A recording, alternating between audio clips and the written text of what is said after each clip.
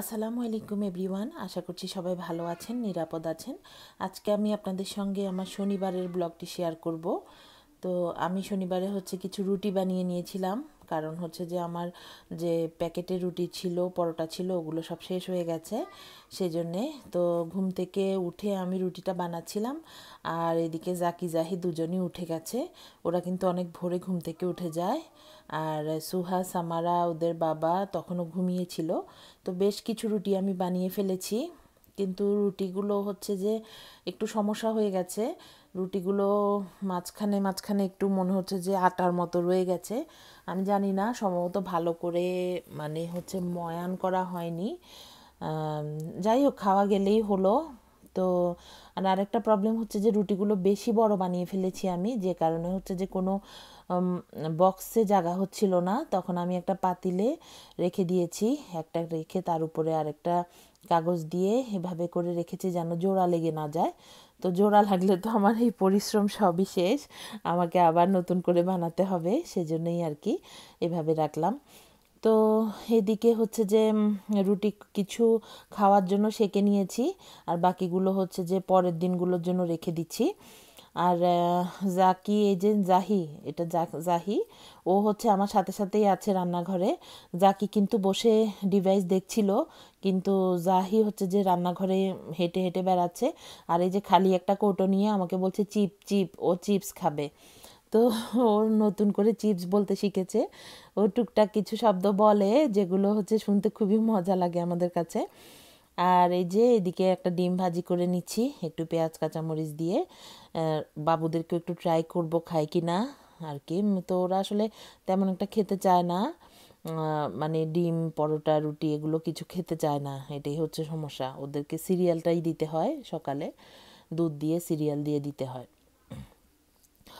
তো আসলে চারদিকের এত খারাপ পরিস্থিতি কিছুই ভালো লাগে না মন টনও ভালো লাগে না, কাজ উঠে না আসলে হাতে। আর এত বেশি অ্যাম্বুলেন্সের শব্দ শুনতে পাই চারদিকে মানে একদম মানে কি বলব, মনে হয় যে কলিজা কামড় দিয়ে থাকে এরকম মনে হয়। আর এই যে সামারা বুড়ি সামারা বুড়ি ঘুম থেকে উঠে এসে বসেছে। তো পরে হচ্ছে কিছুক্ষণ পরে আমি ওদের দুজনকে একটু জুস দিয়েছি দুই ভাই খাচ্ছিল, সামারাকেও দিয়েছি। আর এদিকে হচ্ছে ওর বাবা ঘুম থেকে উঠে না মানে হচ্ছে নাস্তা করতে বসেছে। আর আমি কিছু মাছ ভিজিয়ে নিয়েছি। আজকে মাছ রান্না করব আর বাবুদের জন্য হচ্ছে যে মুরগি রান্না করব। ওদের জন্য মুরগি দিয়ে আলু দিয়ে রান্না করব। এটা একটা হার্ড চিকেন যেটা আমাদের দেশি মোরগের মতো অনেকটা। তো এদিকে আমার হাজব্যান্ডকে বললাম যে, আমি মুরগিটা বসিয়ে দিচ্ছি আর তুমি মাছের আমিষগুলো হচ্ছে যে একটু বেছে দাও। তো আচ্ছা যাই হোক, সে তো করছে। তার কাজ আমি হচ্ছি অন্যদিকে মানে মুরগিটা বসানোতে ব্যস্ত। সে ভালো করে ধুলো, আমি বললাম যে একটু লবণ দিয়ে আর একটু লেবু দিয়েও ধুয়ে দিও।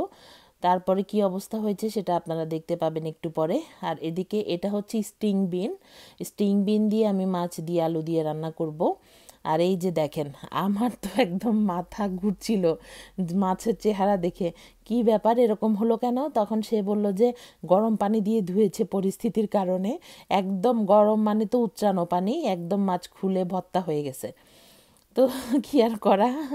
যাই হোক, আমি এদিকে মুরগিটা বসিয়েছি। এদিকে হচ্ছে যে আমার ভাত হচ্ছিল চুলোয়। আর মাছটাকে আমি আর কি করব? হলুদ লবণ দিয়ে মেখে একটু ভাজি করে নিচ্ছি। তারপরে হচ্ছে যেটা আমি রান্না করব ইয়ে দিয়ে স্টিং বিন আর আলু দিয়ে রান্না করব। তো এদিকে হচ্ছে যে মাছটা ভাজি হওয়ার পরে আমি চুলোতে মানে কড়াইতে তেল আর পেঁয়াজ দিয়েছি। আর আমার আরেকটা সমস্যা হয়ে গেছে, সেটা হচ্ছে যে বাসায় রসুন নেই। রসুন হচ্ছে যে অল্প দুই একটা ছিল, ওখান থেকে একটু কুচি করে মুরগিতে দিয়েছি। আর হচ্ছে এখানে দিয়েছি, তো হঠাৎ মনে হলো যে আমার কাছে একটা সল্ট আছে গার্লিক সল্ট লেখা। ভাবলাম যে নিশ্চয়ই ওটাতে গার্লিক দেওয়া আছে সেই জন্য ওই সল্টটাই আজকে মাছে আর মুরগিতে ইউজ করলাম আর কি রসুনের ঘাটতিটা পূরণ করার জন্যে। এদিকে হচ্ছে আমি নর্মাল রেগুলার যে মশলা আছে, মশলা দিয়ে মানে মশলাটাকে একটু কষিয়ে তার মধ্যে হচ্ছে আমি বিন আর আলু দিয়ে দিচ্ছি। তো বিন আর আলু একটু কষানো হলে তারপর হচ্ছে যে আমি এটার মধ্যে একটু পানি দিয়ে দিব, পরে হচ্ছে যে মাছটাও দিয়ে দিব আর কি। একদমই সিম্পল আমি জানি যে সবাই আপনারা পারেন রান্না করতে। তো আমি কীভাবে রান্না করি সেটাই হচ্ছে একটু শেয়ার করলাম আর কি আর এই বিনটা খেতে কিন্তু খুবই ভালো লাগে। আর এটা মানে বরবটির মতোই। আমাদের দেশের যে বরবটিটা আছে রেগুলার ওই বরবটির মতোই অনেকটা টেস্ট তেমন একটা পার্থক্য আসলে আমার কাছে মনে হয় না। তো যাই হোক, আমি হচ্ছে এটা রান্না করছিলাম আর এদিকে হচ্ছে সুহার বাবা ঘর ভেকুয়াম করছিল। আর হচ্ছে আজকে তো সে একটু অপরাধী আর কি। তার মধ্যে আমি তাকে আরও বেশি হচ্ছে জ্বালা দিচ্ছিলাম। বলছিলাম যে, ইচ্ছে করে তুমি মাছগুলো এরকম ভর্তা বানিয়েছো।